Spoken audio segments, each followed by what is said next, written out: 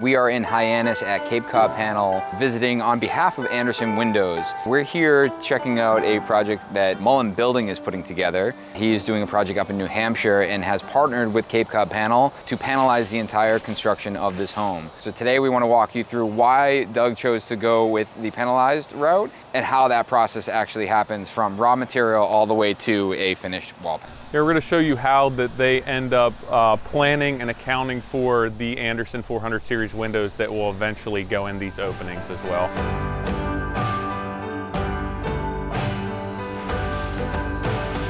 So behind us we have a couple panels that are completed.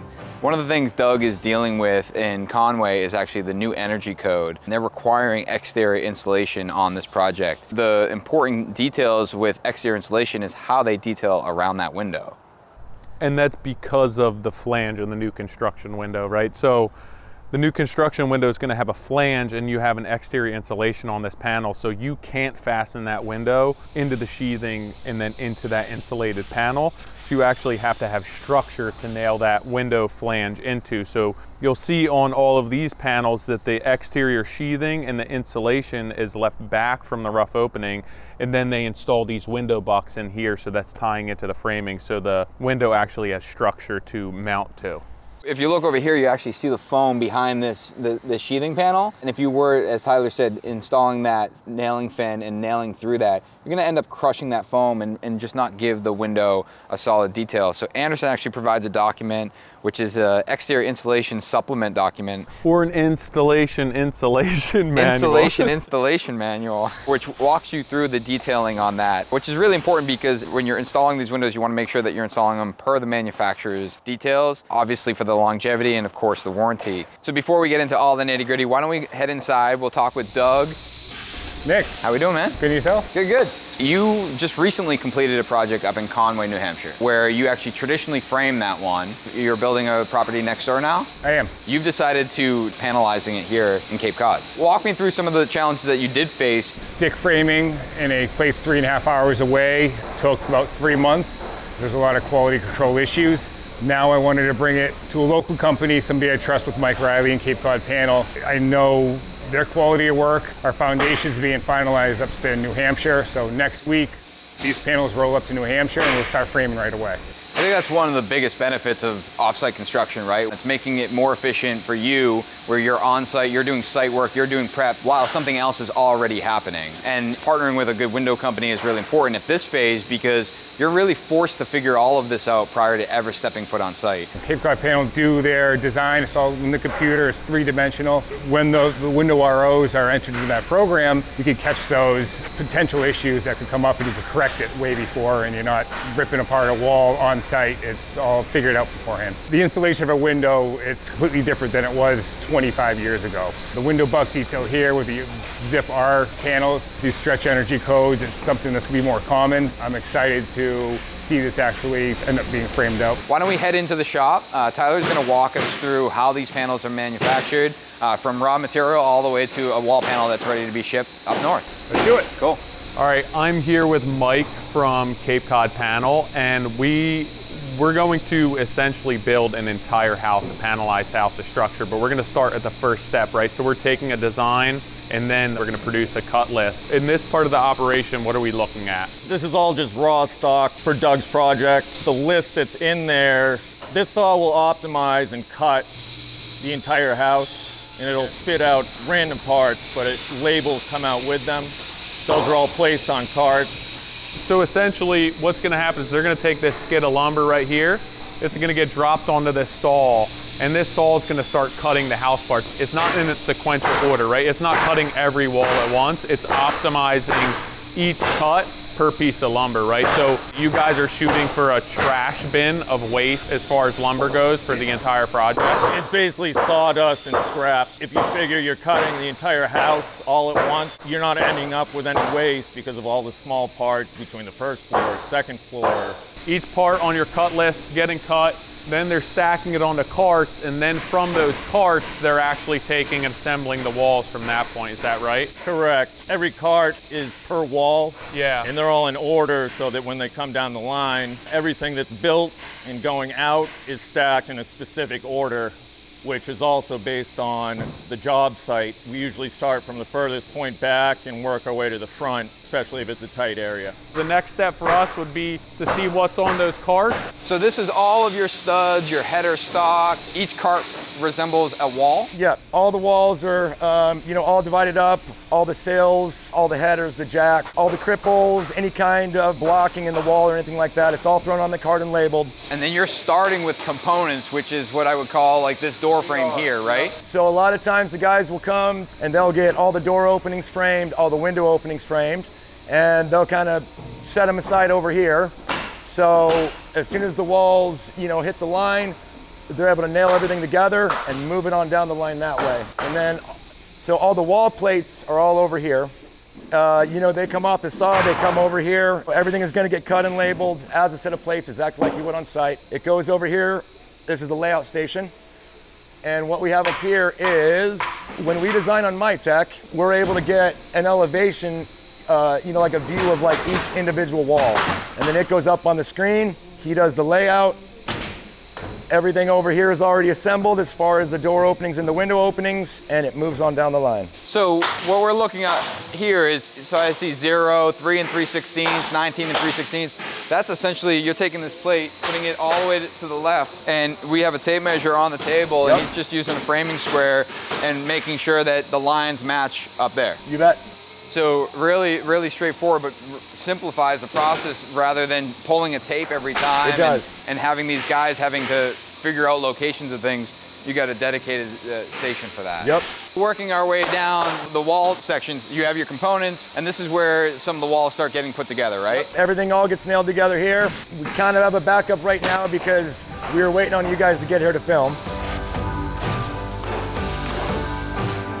You know, by getting everything in the model ahead of time and just really looking at every detail, you're really able to eliminate all the mistakes. So as soon as it hits the line, it's just automatic. Mark, I think that's one of the things that oftentimes misunderstood is that panelization, there's only so many things you can do. And this is a great example of a completely custom wall section Yep. that was designed not by you guys in terms of like the overall architecture, Yep. but you're taking the architecture and basically reverse engineering it to fit your process. Exactly. So things like window bucks, yeah, that's not a standard detail. Yep. That was something that you're easily able to adapt because what you're doing is essentially creating efficiency in the process in which you get a wall built. Right. But Mark, something that you pointed out to me is the nailing pattern on the bottom of the stud. So it was, it was this right here, right? Mark? Yep. In the field when you're framing is when the guys are going along and they're in a hurry and they're getting the bottom plate nailed off. Some framers don't pay too much attention to the nail pattern because they're gonna stand that wall and no one's ever gonna see that. Sure. Here we're producing a product. So it's really important that when it leaves here, it looks like a product that was manufactured in a controlled environment. You get in a hurry in the field and a lot of guys are going along and when they're nailing a stud pack together, a lot of the nails, because the placement isn't proper, are gonna go in between the studs. It's just as bad as missing the stud entirely. Exactly. Speak, speaking of nails and, Yep. and, and inspections in terms of that, I'm gonna send you down to Tyler because Tyler wants to walk through the sheathing with you. Let's go. Let's go.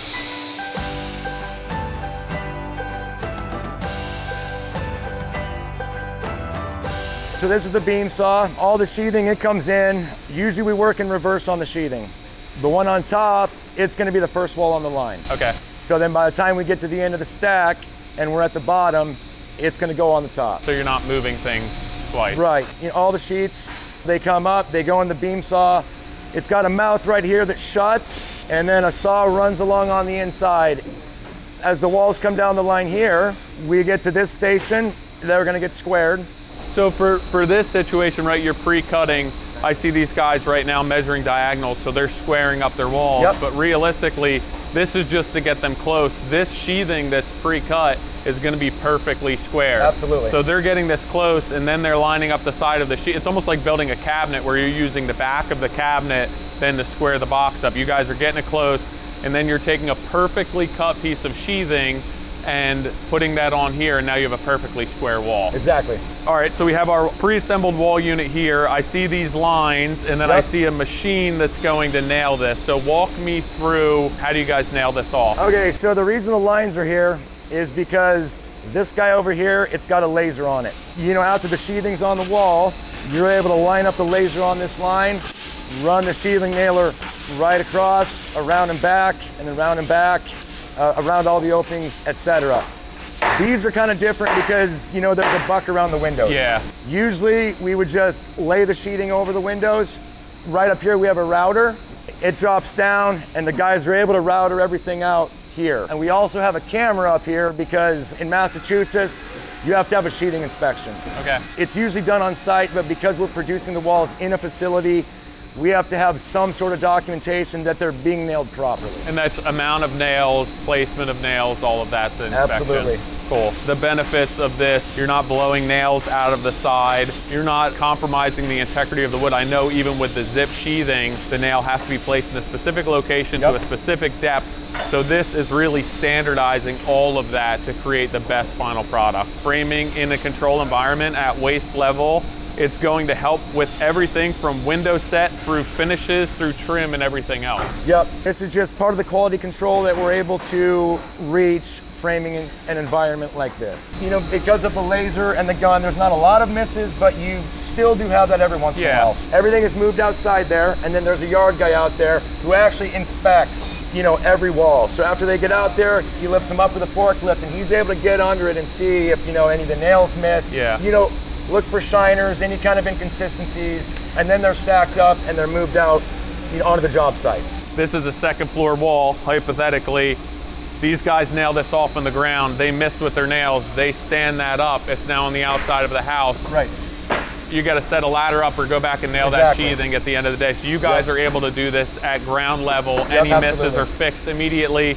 It's not forgotten about and it's a done deal. This is a little bit more labor intensive than usual, but I have a feeling with the new codes and everything else that this is going to start to become a pretty common practice. Sure, and even with thinking the same thing as doing this in the field, this is marking this out, snapping chalk lines, cutting that, finishing the quarter so you're not overcutting. You can do this all on a panel saw. Yep. That makes it so much easier and so much quicker. Cool, so what's next? It all goes outside, it gets inspected, everything gets thrown into stacks and ready to ship to site. Sweet.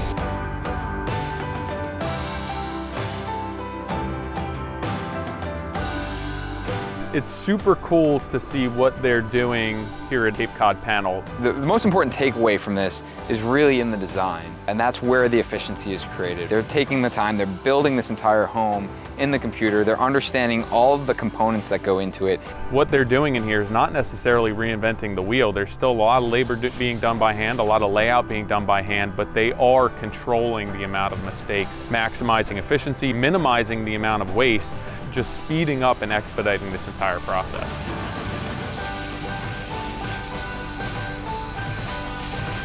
It's really nice to see uh, manufacturers like Andersen coming together to work with Mullen and with with ourselves and Cape Cod Panel um, and supporting what they're doing and providing them with all of the details to execute this properly. Right, this exterior insulation, we're going to see more and more of it. So it's nice that they're putting out the specs and then coming and helping them ensure that this is done right. So you're not getting this to site and then having issues down the road. Right, all the windows can be ordered everything can show up the site and the windows can go in and it's dried in in a matter of days. Yeah, it really eliminates that, hey, we'll figure it out in the field mentality, and, and ultimately that's what leads to, to issues with warranty and overall longevity Yeah, and of the, a project. the changes can happen here rather than out in the field when you're exposed to the elements and everything else. So And based on the conversation we heard in this panel coming in right behind us, I don't think it's going to be too long until we're up in New Hampshire. We better get this moving. Thing, this thing getting installed. So let's get this panel out of the way for these guys.